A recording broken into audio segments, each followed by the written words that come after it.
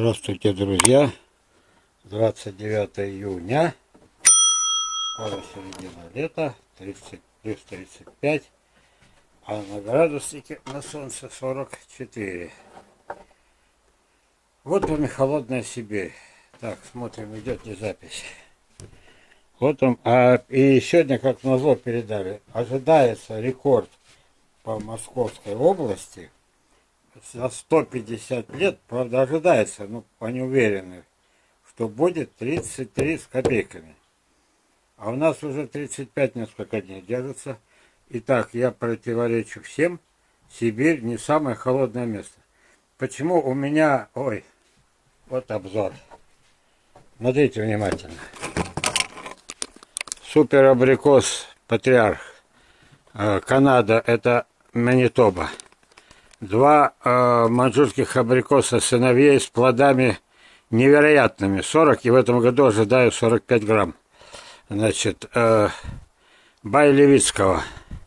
Так, вот. Там идет э, Амур, Артем. Так, потом персиковый с Украины. Общее название, но еще не плодоносил. Вот. Это, значит, э, Дальнего Востока. Абрикос, который не похож на абрикос. Это Амур. Вот. А там молодые деревья, академики, пианисты и прочее, прочее. Вот. Все это не думает умирать, все это прекрасно плодоносит.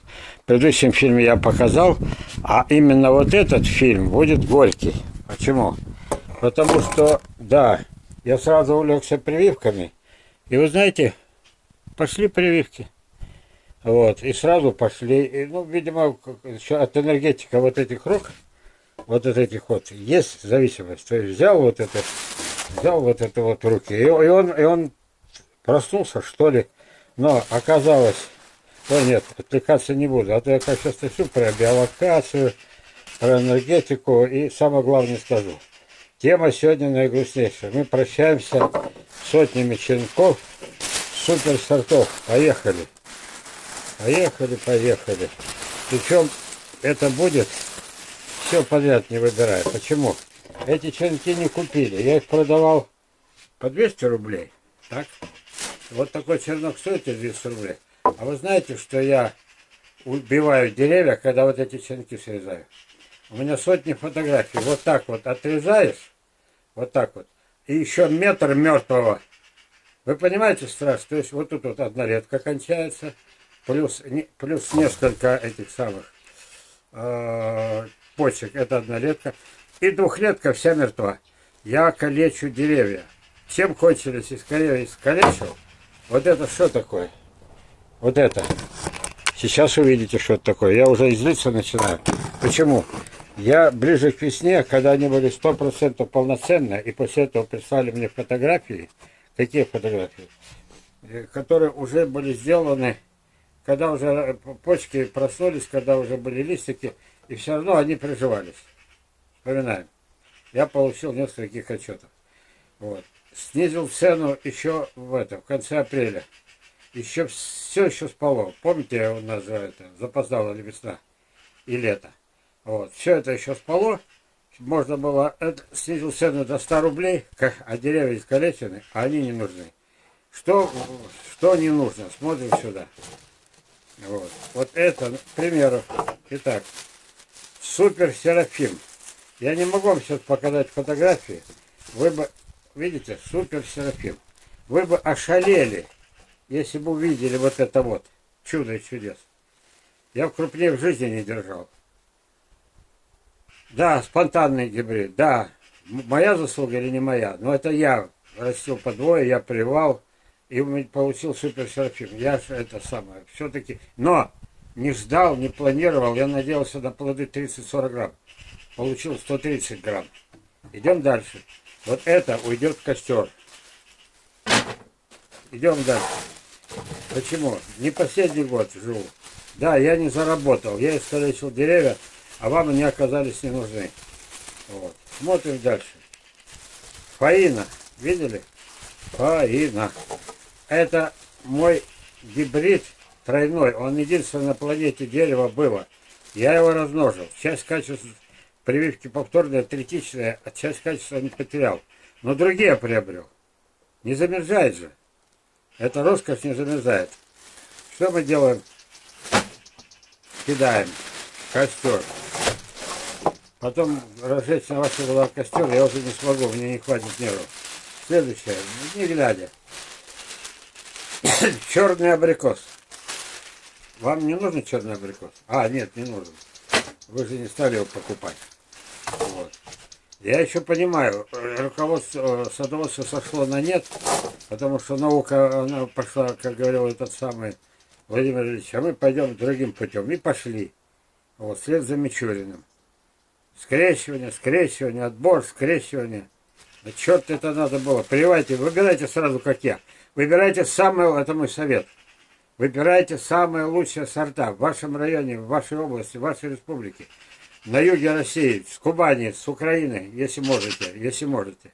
Вот, Белоруссия, Прибалтика, значит, Казахстан, Китай, э, где, где угодно. Дальний Восток есть прекрасные сорта. От Джорджини 4000 лет назад у них были сорта не хуже вот этих. Это, кстати, королевский с Франции не могли за 4000 лет адаптировать. Да что это такое? Дальше. Берем не глядя. Я злой, как этот самый. Еще поеду, ну ладно. Вот. Абрикос ранний пианиста. Вот. Нужен ранний пианиста. Запомните, всегда старайтесь, чтобы у вас были ранние и поздние. Причина сказать почему? А потому, чтобы свели в разное время не обязательно вас захватит только ранние сорта э, это, заморозок. Бывает наоборот, ранее проскочили, плоды завязались, позднее зацвели и попали под заморозок. Мой анекдотичный случай, о нет, это никакой анекдот, сейчас проверяю еще раз, идет ли запись. Анекдот, не анекдот, но у меня же один год был, ну не может такое быть, когда у персика на 10 градусов ниже морозостойкость, на 10 градусов первая волна цветения абрикосов, под заморозок попали. Заморозок закончился, зацвели персики, проскочили, нормально все. Потом вторая волна этих поздних абрикосов, под заморозок попали. Осенью это, и, и смех, и слезы. В саду персики, телевидение приезжает с Красноярска, телевидение приезжает с Кемерово, приезжает с Абакана, Саяногорска, само собой – я всех персиками угощаю. Абрикосов нет, хоть стыда лопни. Но так попало. Вот. Да, смотрите. Патриарх, к нему не относится. Все года плодоносил. Да, умирает. Да, 41 год пошел. Видели? Вот, да, уже наполовину голый. Но это рекордсмен. У него официально было 40, не официально, а было намеренно 40 ведер. И еще оставалось. Понимаете? А сколько еще оставалось, это сам Бог не знает. Нет, Бог может знать, но мы не знаем. Идем дальше. Вот.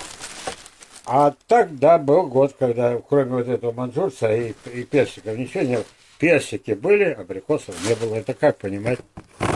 Вот. Идем дальше.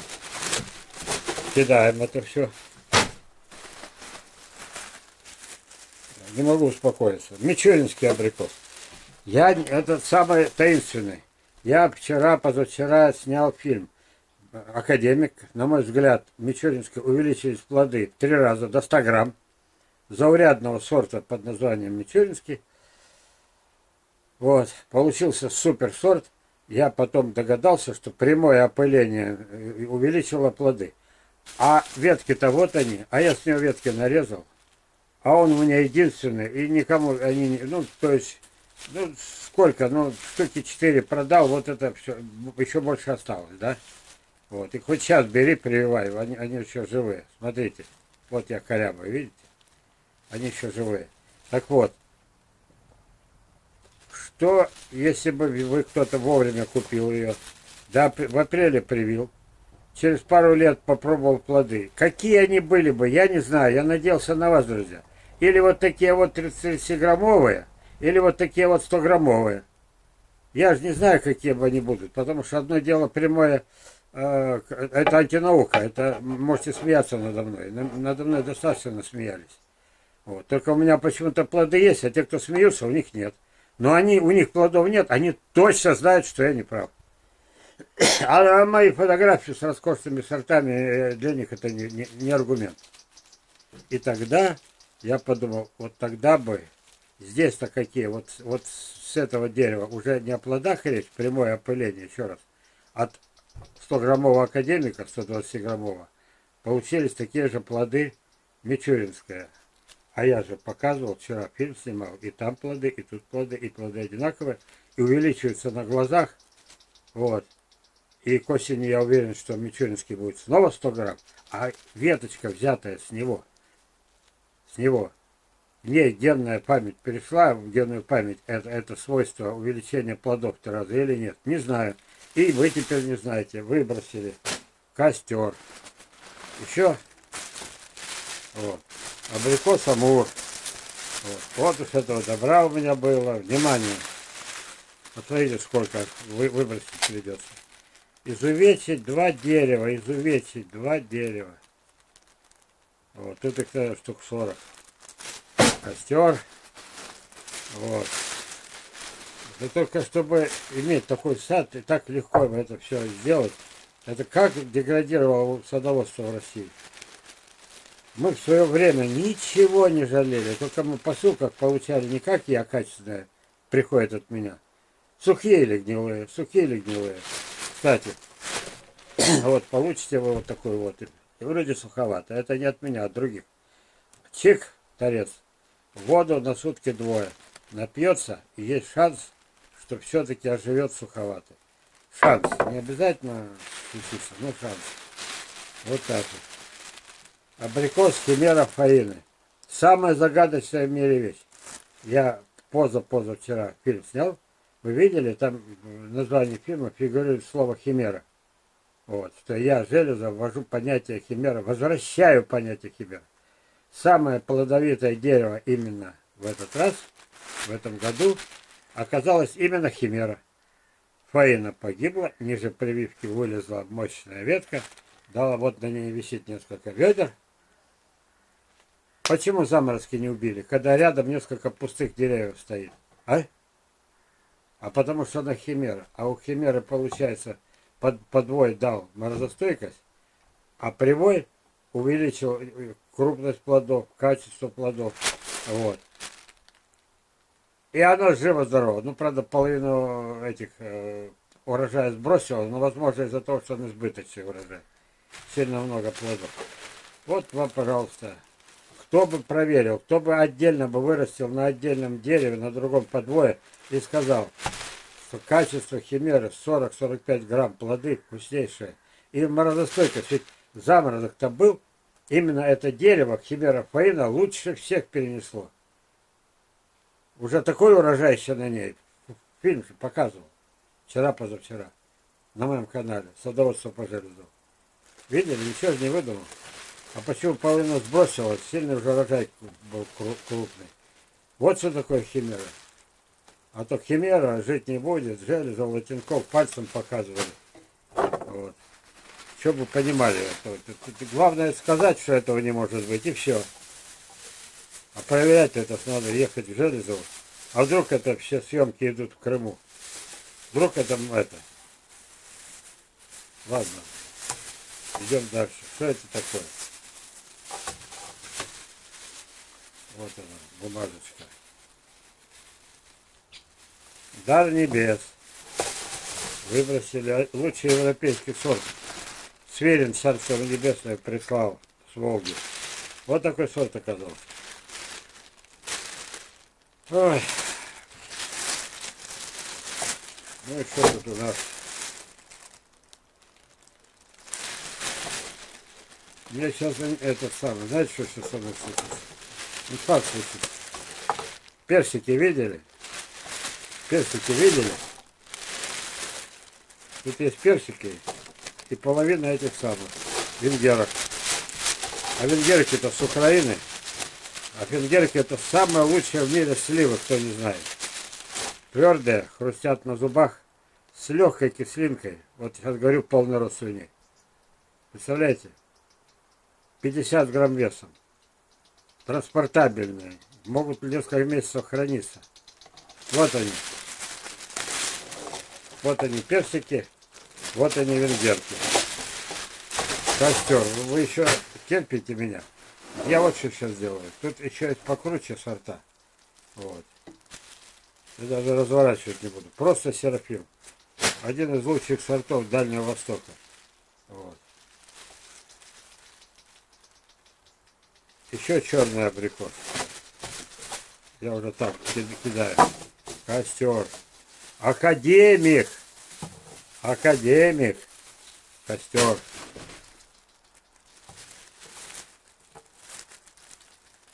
Королевский. Костер. Уже не все разворачивает.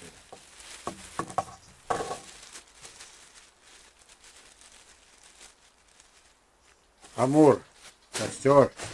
Еще один мешок. А, слива. Я уже слива, я вам показывать не буду.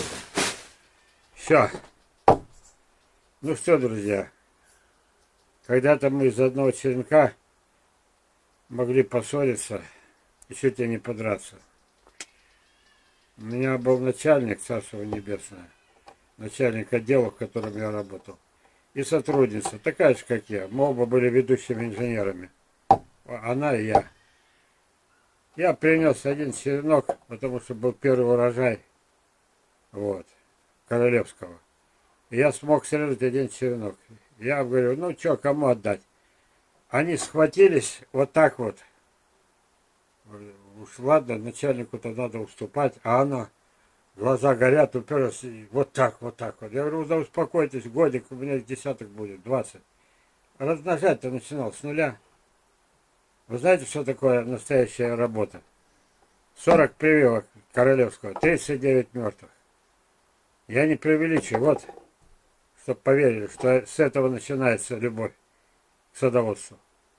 Потом размножение, размножение, потом, когда из каждых десяти два приживается. Эти два берешь, прививаешь, берешь все черенки, следующее поколение, пять из десяти, следующее поколение, семь из десяти. Из каждого десяти, не, не просто один, из каждого десяти. Потом девять из десяти. Все. В Сибири теперь они могут жить. Вот я вам показал. Покажите мне хоть одно мертвое дерево. Все высказался. И опять все уйдет в пустоту. Вот. И так каждый год. У меня есть фотографии, как это. Тимоша э, сжигал, вот так вот, еще больше, в два раза было больше. Вот. А сейчас сад стареет, уже ну попробуйте кого нарезать. Вы знаете, что вот этот вот э, единственный сверхдефицитный оказался опять же вот этот вот мой э, манжурец 40-летний. Из 40 ведрами урожая даже больше. Знаете, как это случилось? Вот подай, нашлось несколько человек, назовем их истинные селекционеры. Зачем, казалось бы, им нужен этот полудикарь? Нет, нужны. Я чудом с него срезал 6 или 7 тонких веток. Потому что старик, откуда на нем тонкие ветки, так, э, годящиеся на прививку? Вот только его и не хватило. Все, друзья, мы с вами прощаемся. Осталась ровно одна минута. Господи. А я выдохся. Вот, я выдохся, я выдохся. Давайте прощаюсь с вами. Прощаюсь вот с этим вот, с этим чудом. Лучшая коллекция во всей планете. По качеству плодов и морозостойкости одновременно. Я нисколько не преувеличил. Ой, сейчас еще надо пойти сделать фотографии шелковица. Но это будет совсем другая тема. До свидания, друзья. И вдруг однажды повернется все вспять. Опять загорятся глаза у наших друзей, у садоводов, простых садоводов, которым уже дано все. Есть черенки, есть косточки, есть семечки, подвойные, привойные. Все есть, только, только было бы желание. И нужно все пересматривать.